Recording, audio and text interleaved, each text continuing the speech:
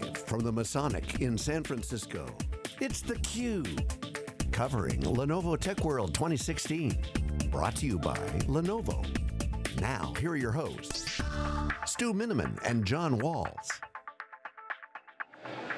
And welcome back to, to Lenovo Tech World. John Walls with Stu Miniman. We continue our coverage here at the Masonic Auditorium in San Francisco as Lenovo rolled out just a whole line of interesting consumer and infrastructure products today. And to help us talk about that is uh, Radhika Krishnan. She rejoins us, the GM of Converged and Hyperconverged at uh, Lenovo. And Radhika, good to see you once again here on theCUBE. We're glad to be here, John. Yeah. Um, again, you know, very exciting times for Lenovo. Lots of new announcements that came out earlier part of this week.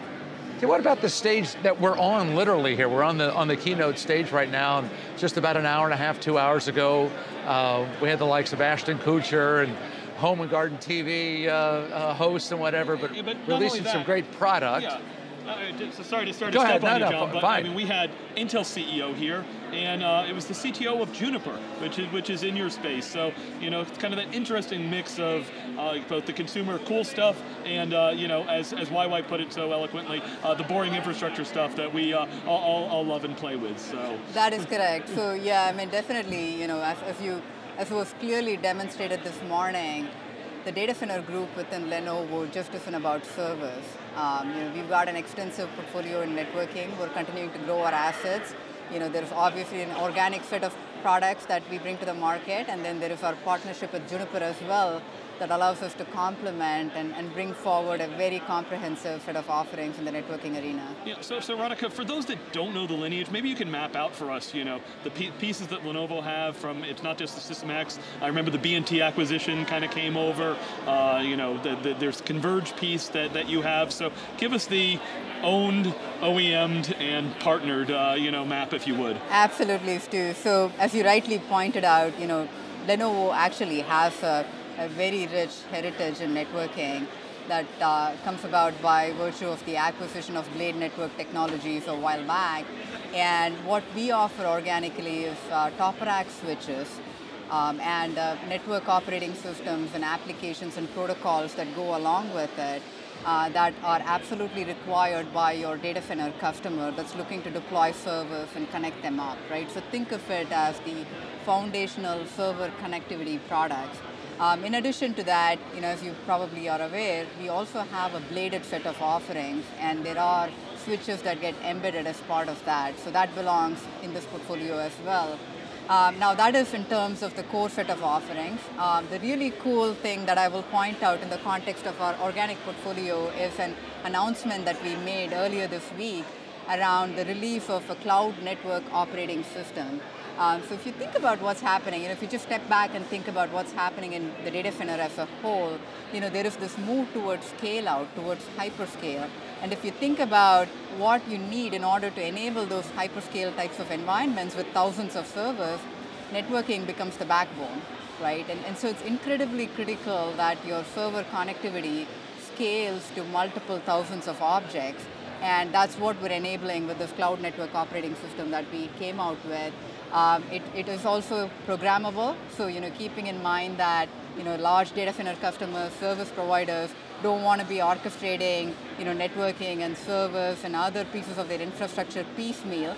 They want to do it using DevOps. Uh, what we have done with our network operating system is provide that programmability as well.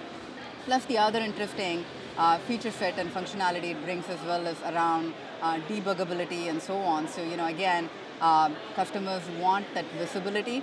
You know, as they deploy networking, they want to know what's going on, you know, where the bottlenecks are and so on. And so one of the things our cloud network operating system enables is, is that level of transparency into networking. So that is in terms of our organic portfolio. Okay, so the cloud networking operating system is your target market. Most of the is it the hyperscales? Is it some large enterprises? Combination in between? It is actually a combination of both, um, Stu. So if you think about it, you know, your, your average data center customer is moving to that scale out model. I mean, we just talked about converged and hyperconverged. So the, the traction, the movement is toward large number of smaller uh, nodes that can, that all need to be connected together and that need to work as a whole.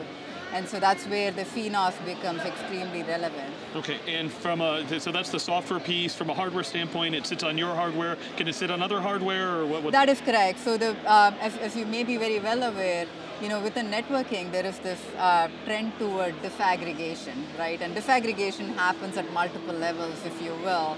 Uh, so there is disaggregation of the data plane and the control plane, which is what has given birth to software-defined networking and you know, networking, virtualized networking, overlays, and things of that nature.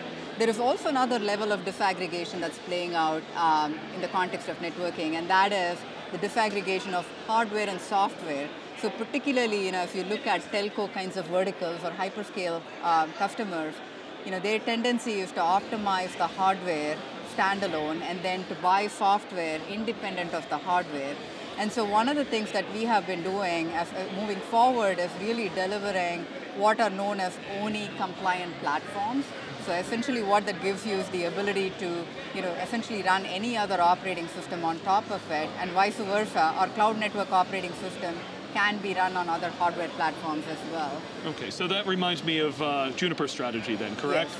So maybe a good, transition to talk about the, the partnership with, uh, with, with, Juniper and uh, you know what was announced uh, this week. Absolutely. So uh, Juniper is a great complement uh, to what Lenovo brings in the networking space.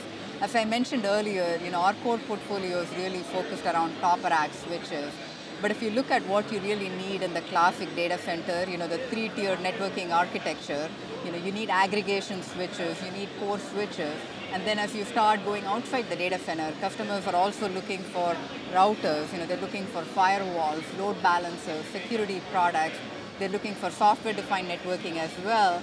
And Juniper, as you're very well aware, has a very rich heritage in that networking arena, in, in the ability to cater to you know that wide swath of customer needs um, in, the, in, in those areas. And the partnership gives us the ability to walk into customer environments hand in hand and be able to demonstrate to them that we have everything that they need in order to deploy a complete solution. And, you're putting that into practice, obviously. You had an announcement today, I believe, about with Juniper uh, with, with product that you're moving forward or services that you're moving forward with them. A little bit, a little bit more on that. Yes, absolutely. So what we announced today were, were a couple of things. Uh, so we now have the ability to both OEM as well as resell uh, Juniper offerings. In addition to that, what we're also doing is helping customers, providing them blueprints of how they can deploy uh, the combination of Juniper and Lenovo offerings uh, for various use cases. So a couple of the ones that I'll point at, you know, there is a remote office, branch office kind of deployment where you may want to deploy a power over Ethernet switch, for instance, um, in combination with other products from the Lenovo portfolio. So that's one of the instances of where we're delivering a solution blueprint that sellers from both sides as well as you know, system integrators can go sell to customers. Um, another use case that we're focusing on is uh, virtual private data center. So again, going back to the comment that I made earlier, where you know you need to have a strong networking backbone in order to deploy this notion of a private cloud. Uh, we're partnering with Juniper. With you know, we're using spine switches from Juniper. We're using our access layer. Uh, we're, we're pulling in software components from VMware and we've architected a blueprint that allows customers to basically take it and, and, you know pretty much off the shelf buy a bill of materials and deploy it in their environments. Just in general, if you take a big picture here, um, taking a step back, you've got this almost like inexorable link between data centers and networking, right? I mean, what do you focus on? I mean, how do you characterize that relationship? And, and what do you focus on in terms of making sure that it, it works? Yes, that's a great question, John. And then again, if you think about you know some of the trends that uh, uh, you know that, that have been getting talked about, such as convergence, for instance, or hyperscale deployments. These are all about optimizations across servers and networking, right? Conversion and hyperconverged are all about you know how you put various components within the infrastructure together such that they work in a, in a much more efficient and a much more optimal fashion. And so that's really where the bulk of the focus has been. So again, if you look at the, the focus of the business uh, that I manage, it's all around converged and hyperconverged and networking, which are all extremely synergistic to each other. So Radhika, you know, in partnerships with Juniper and with Nutanix, can you talk about the, the services piece of that? Because customers are, of course, always looking for that single throat to choke. How, how does Lenovo look at those partnerships? And that is, uh, that's a great question, too, because that's one of the areas where we believe we can add a lot of value.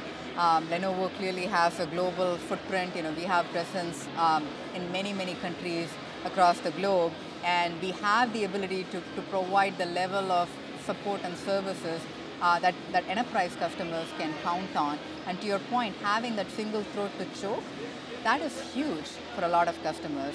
Uh, so that is a very distinct advantage that we believe we can bring to the table uh, with these partnerships. We've been asking uh, various guests here just to uh, perhaps look down the road a little bit, and uh, there's always a next step, right? I mean, you can't you can't afford to sit still in, in your environment. So what is that for you? 12, 18 month time frame? I mean, that what kind of roadmap great, do you have? Yeah, that's a great question, John. So, you know, I'll, I'll, go back to some of the trends that are playing out in the industry that we have been heavily monitoring, tracking, as well as investing in. Uh, one of the ones that I alluded to earlier is this move towards virtual networking, right? Software-defined networks, network fabric virtualization known as NFV, uh, that is catching on like wildfire in telco and hyperscale kind of environments. Mm-hmm. Um, and so, you know, our, our teams are actively working on delivering those types of solutions. And then when you start looking at converged and hyperconverged as well, you know, there is, you can almost argue that networking is the next frontier, right? Mm-hmm. So the, the storage problem has been solved to some extent. Hyperconverged systems today crunch down compute and storage together, but networking is, is still that unknown, relative unknown. And what we believe, where we believe we can really add value is by focusing on that networking piece by, optimi- by optimizing networking such that it, it is, is much more compatible and is, is works much better with the converged, hyperconverged environments is one of the key areas that we're investing in as well. Well, uh, before we say uh, so long, how do you feel about being on the keynote stage? I mean, this was kind of this is very exciting. A nice setup, isn't it? This is yeah, no, absolutely. I mean, loving it. Uh, this is very a very exciting day for Lenovo, as I mentioned earlier lots of very cool data center announcements that happened earlier this week. Um, you know, we announced some industry-leading benchmarks uh, that you'll hear about from our uh, server leader. Um, you know, we had some pretty cool announcements about our storage partnerships. Um, clearly, know, as I mentioned earlier, we've now announced our brand new cloud network operating system, our partnership with Juniper. Um, and then, you know, the, on the hyperconverged front as well, you know, we just rolled out a series of platforms uh, targeted toward the SMB customer. So this has been an ex extremely exciting week for us here within DCG at Lenovo. It's a great future ahead of you. We appreciate the time here. You double dipped on the cube today. Congratulations. Thank you. Yeah, Thank very you. good. Thanks, Radhika. We'll be back with more from the Lenovo Tech World 2016 get together here in San Francisco in just a bit, right here on theCUBE.